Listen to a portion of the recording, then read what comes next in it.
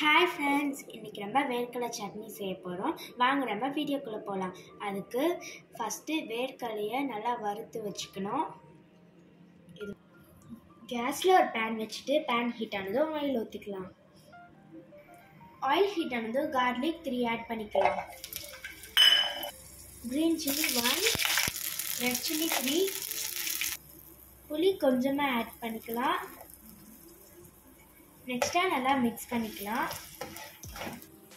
இப்போ தேங்காய் துருவல் ஆட் பண்ணிக்கலாம்.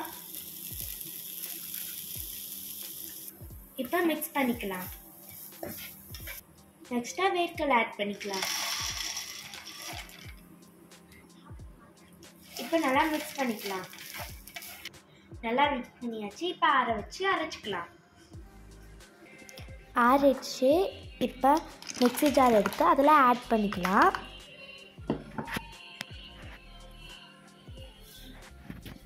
நெக்ஸ்ட்டாக தேவையான அளவு சால்ட் ஆட் பண்ணிக்கலாம்.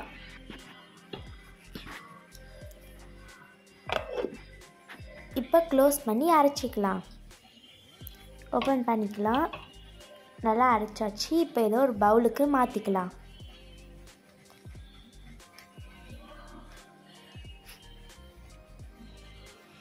இப்போ தாளிச்சிக்கலாம்.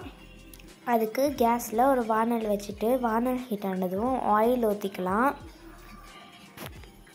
இப்போ ஆயில் ஹீட் ஆனதும் கடுகு போட்டுக்கலாம். ஸோ கடுகு பொழிஞ்சதும் உளுந்து உளுந்து செவந்ததும் ரெட் சில்லி நெக்ஸ்ட்டாக கறி லீஸ் ஆட் பண்ணிக்கலாம்.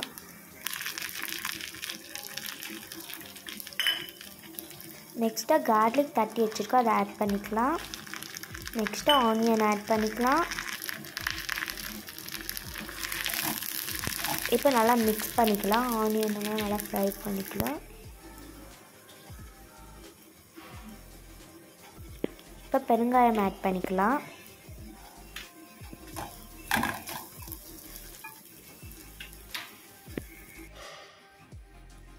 இப்போ தாளிச்சதை இதில் ஆட் பண்ணிக்கலாம்.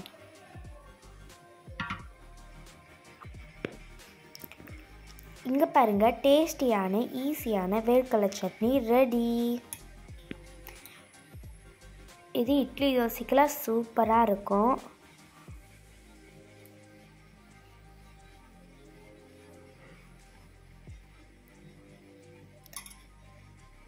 இட்லிக்கு ரொம்பவே சூப்பராக இருக்கும்.